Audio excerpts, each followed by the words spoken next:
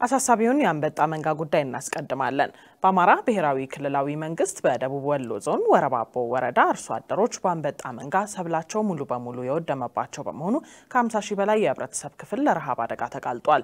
በዚሁ ክልል ሰሜን ሸዋ ዞን ኤፍራታና ግድም ወረዳ የሚገኙ አርሶ አደሮች ደግሞ የአንበጣ መንጋ በሰብላቸው ላይ እያደረሰ ያለውን ጉዳት ለመቀነስ በባህላዊ መንገድ ለመከላከል እየጣሩ ሲሆን መንግስት በተቻለ ፍጥነት የአውሮፕላን ርጭት እንዲያደርግላቸውም ጠይቀዋል።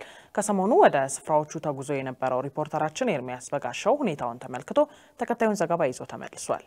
በኢትዮጵያ የተለያዩ አካባቢዎች የተከሰተው የበረሃ አንበጣ መንጋ አርሶ አደሩን ክፉኛ እየፈተነ ይገኛል።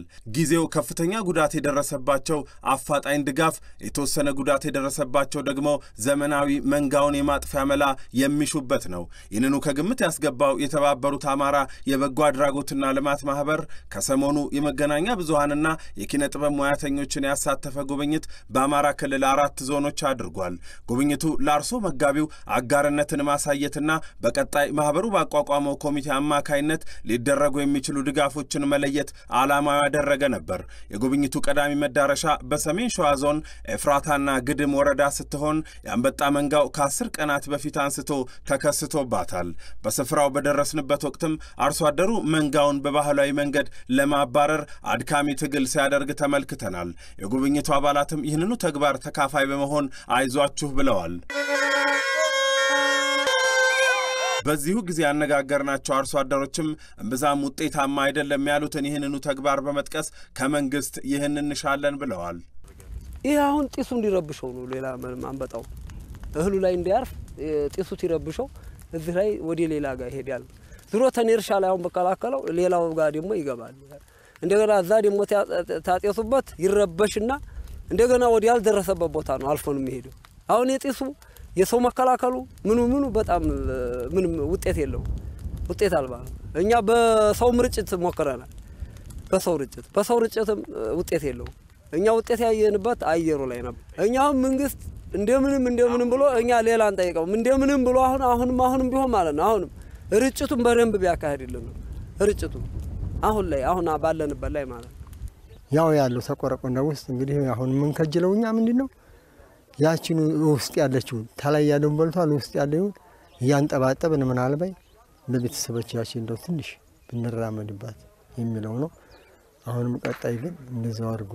አሁን የምትሰሙትና የምታዩት ነገር ይኸው ገበሬው በየማሳው ነው። አሁን እኔም አሁን ልጆችን ዶር አድርጌ ነው አሁን እኔም ወደዛው እየሄድኩ ነው ለመታገል ማለት ነው። የአውሮፕላን ርጭቱ እንዲቀጥልልን ይህን እንኳ ቢያድን እያያችሁት ነው የሞተውን አሁን እሱ ነው የረዳን። የእኛ ውርውር ማለት በየቦታው ሰውነታችን ጨርስኒ ምንም ያደረግነው ነገር የለም። የአውሮፕላን ርጭቱ ግን በትልቁ ነው የረዳን። የወረዳው አስተዳደርም መንጋው ከመከሰቱ አስቀድሞ በአጎራባች ክልሎች በተከሰተ ጊዜ ያግዝ እንደነበር በመጥቀስ በወረዳውም የተለያዩ የመከላከል ስራዎችን መስራቱን አስታውቋል። አስተዳዳሪው አቶ ደምሰው መሸሻ የችግሩን መጠንና የተደረጉትን ጥረቶች በተመለከተም ይህን ተናግረዋል። በአጠቃላይ በዚህ አካባቢ በወረራ ደረጃ ወደ ስምንት ማነው ስድስት መቶ ሰማኒያ ስምንት አካባቢ ሄክታር የሚሆን ወረራ ተካሂዷል። ከዚህ ውስጥ ጉዳት የደረሰበት ሁለት መቶ አስር ሄክታር ነው። አሁን ያያችሁት አንዳንዱ ማለት ነው ከፍተኛ ጉዳት የደረሰበት አለ፣ መካከለኛ ጉዳት የደረሰበት አለ። በማህበረሰቡ ተሳትፎ እንደዚሁ በባህላዊ መንገድ ማለት ነው ብዙ የሚታዩትን ዛፉን የመሳሰሉ ነገሮችን በመጨፍጨፍ በርጭት motorized በተሽከርካሪዎች በሌሎች ማለት ነው እና በአጠቃላይ በአውሮፕላን በተደረገ ድጋፍ ከዚህ በላይ ሊደርስ የነበረውን ጉዳት መቆጣጠርና ማዳን ተችሏል ማለት ነው እና አሁን ያያችሁት ሰብል እንግዲህ ተስፋ የሚሰጥ ነው። በዚሁ የሚበቃ ከሆነ እኛ ተመስገን ነው የምንለው። ግን አሁንም ስጋቱ ከፍተኛ ነው፣ ያንዣበበው ስጋት። አሁን የምንገኘው ደግሞ በደቡብ ወሎ ዞን ወረባቦ ወረዳ 013 ቀበሌ ውስጥ ነው። በዚህ በወረባቦ ወረዳ ከሚገኙ 22 ቀበሌዎች ውስጥ በ12ቱ የተዘራው ሰብል ሙሉ በሙሉ በአንበጣ መንጋ እንደጠፋ አርሶ አደሮቹ ነግረውናል። በዚሁ በወረባቦ ወረዳ ይኖራል ተብሎ ከሚገመተው 130 ሺህ ሕዝብ ውስጥ ከ54 ሺህ በላይ የሚሆነው ለረሃብ አደጋ እንደተጋለጠም በስፍራው በተገኘንበት ጊዜ ሰምተናል። የችግሩ መጠን ስደትን እንደ ሕይወት ማዳኛ እስከ መመልከት ያደረሳቸው አርሶ አደሮችና የወረዳው ግብርና ጽሕፈት ቤት ኃላፊ መንግስትን ጨምሮ ያገባኛል ባይ ሁሉ አፋጣኝ ድጋፍ ያደርግ ዘንድ ጠይቀዋል። አንድ ነገር የለም። በቃ አገሬው በቃ ከብት የሚቆረጥመው አገሬ እንኳን ቅጠሉ ተበልቷል። ቅጠል እንኳን የለም ወድሟል ማለት ነው።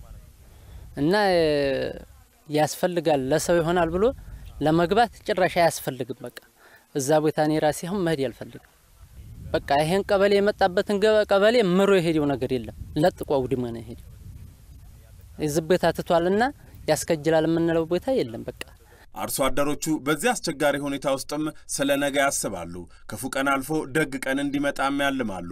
ማለም ብቻ ግን አይደለም፣ ስለ ቀጣዩ ዓመት አዝመራ የቅድመ ጥንቃቄ ስራ ይህን ይላሉ። ለሚቀጥለው ዓመት ጥንቃቄ ዋናው ጥንቃቄው ሂዶ ተፈለፈለችበት ላይ ሂዶ መርጨት፣ ርጭት እዛ ሂዶ ያችን አቧራ ውስጥ ሂዶ እንቁላል የጣለውን አንዲቱ አስር ሺህ ነው የምትጥለው እያሉ ነው በእኛ ባባባል በሳይንስ አስር ሺህ ይላል። በእኛ ባባባል ደግሞ ዘጠና ዘጠኝ ነው የሚባለው አንዲቱ።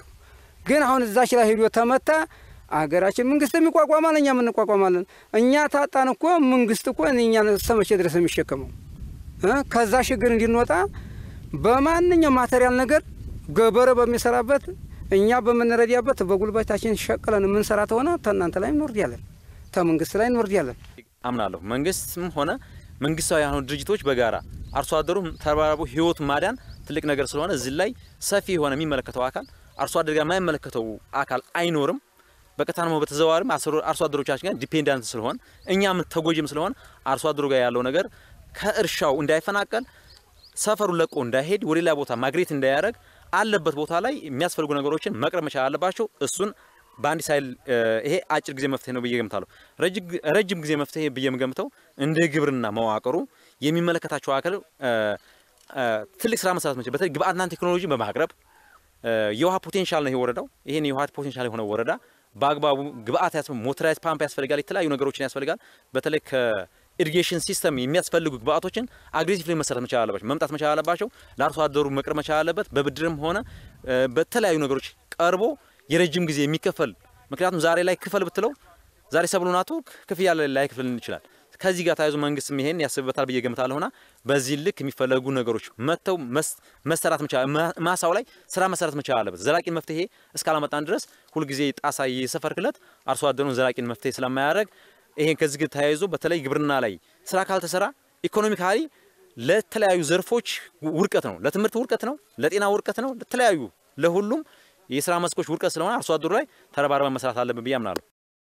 ተመልካቾቻችን በነገራችን ላይ የዚሁኑ የአንበጣ መንጋ ጉዳት በተመለከተ የጉብኝቱ አካል በነበሩት ሌሎች ዞኖች ያለውን ሁኔታ ደግሞ በነገው የአዲስ ነገር ዝግጅታችን ተጨማሪ ዘገባ ይዘን እንደምንመለስ ለመግለጽ እንወዳለን።